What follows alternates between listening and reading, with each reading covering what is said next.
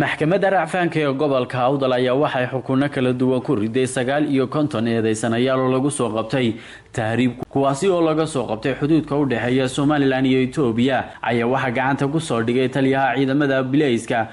maxkamadda racfaanka ee gobolka awdal oo maanta u fadhiisatay kagarnaqa amase sidoo kale xukunka dacwadda la xidhiidha sagaal iyo kontonkaasi eedeysanayaal iyo sidoo kale saddex magafe dad etoobiyaan ah oo la tahriibinayay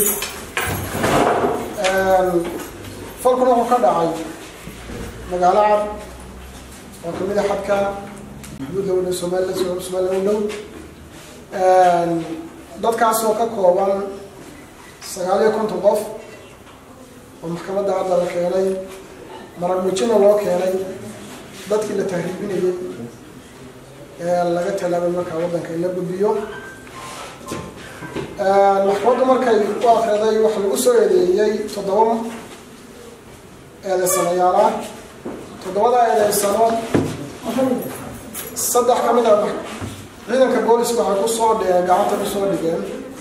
Iyo sagaal iyo kontonkii qof oo ah xerooyin u samaysteen laga soo ururiyey afar qofna way ka baxsadeen. Ciidanka booliska oo maqalyaal wey saddexda eedeysanay fooda markay u akrideen cashireeda waxay ku jawaabeen in dembiga ay qabin mad waxay dhegaysatay maragye dhegaysatay. Daawadaasina way sii socotaa waxaa loo mudeeyey muddo kale la mudeeyey fooda waxay caddaynaysaa in dadka la tariyeeshaa ee u dhashay waddanka etoobiya in loo dhiibo laanta sugaanka ee markaa lagu wareejiyo si dadka markaa loogu celiyo waddankii markaa laga soo tahriibinayay oo la sheegay inay tahay markaa silsilas ku xidhan etoobiya ilaa iyo somalilan dadkaa dad gudbinayiin dadkaasoo ciidanka boolisku ay soo qabteen maxkamaddana maanta hor door jooga. Waxaa ka maxkamad markaa aan ku wareejinaynaa laanta socdaalka ee somalilan inay dadka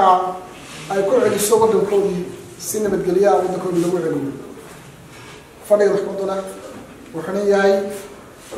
dacwaddana waxay sii socon doontaa dhegaysigeedu waxaa la mudeeyey maalinta bisha ay tahay saddex iyo tobanka bisha iyo tobnaad labada kun iyo toddobiyo tobanka wabilahi towfiiq dhanka kale iyaguna dhanka kale isaguna waxaa xaggaasi ka hadlay xeer ilaaliyaha guud ee qaranka jamhuuriyadda somalilan iyo sidoo kale taliyihii howlgalkani maanta fuliyeyna waxay sheegeen. Waxay u badan yihiin. Dad oroma dad oroma ah. Ayay u badan yihiin dadka waxaa laga raraa magaalada la yidhaha magaalo cad habeenka u yartay waxaa laga raraa laba boqol oo qof ama saddex boqol oo qof ma aha wax imiga bilaabmay waa wax weyn bas meel kale ayaa jirta oo laga raro maaragtay koonfurta maaragtay hargeysa marka ayaa jirta laba xeraa jira mid waxaa la yidhaha sheekh waafi midna waxaa la yidhaha magaalo cad labadaa meelood qaranka ayay dhibaato ku yihiin mushkilad joogta ayay ku hayaan maanta taliyahaasaa ku guulaystay inuu intaa keenu soo qabto taliyaha cusub dadkan aad arkaysaan meesha fadhiya ee tahriibayaasha shay abaar koo tobankii ayaan ka soo qabanay xeryo waaweyn oo looga samaystay magaalo cad uguna ururiyo dadkan markaysaana waxaan ku soo qabanay saddexdan eedaysane ee maxkamaddu kiiskooga imika dhegaysanayso kuwaasoo kala iibsada dadka. Isla markaana ay kala iibsadaanna u tahriibiya ilaa boosaaso. Kala tallaabiya badda. Marka hore dadka waxaa laga keenay xagga etoobiya xuduudka waxaa ka soo tallaabiya niman etoobiyaan oo mukhalasiin oo xagga she ka soo kaxeeya. Waxaa u keenaan soomaali joogta magaalo cad.